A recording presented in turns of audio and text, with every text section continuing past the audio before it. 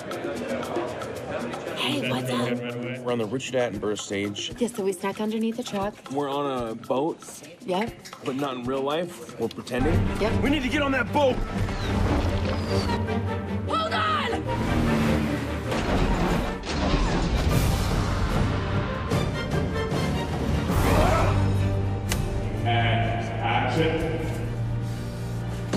We have our T-Rex that can be puppeteered from below and from the back. And so those scenes were built specifically to be able to use animatronics in a way that we couldn't in the first Jurassic World. We knew that Bryce had to climb on board, and it weighs tons, and it has a huge amount of power and aggression, and so we also don't want to injure her. So there is a soft section in the middle of the neck, which is designed almost like a sort of saddle. She can hold the T-Rex. Good job. You're making this look totally normal.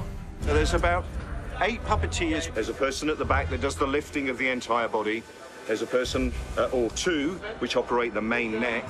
The head is controlled through a radio control system. There's another puppeteer who's looking after the eyes, the eye blinks. Another one that's looking after the breathing and the nostrils.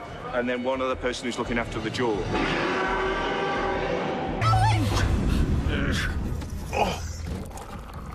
I've been able to ride on the back of a T-Rex.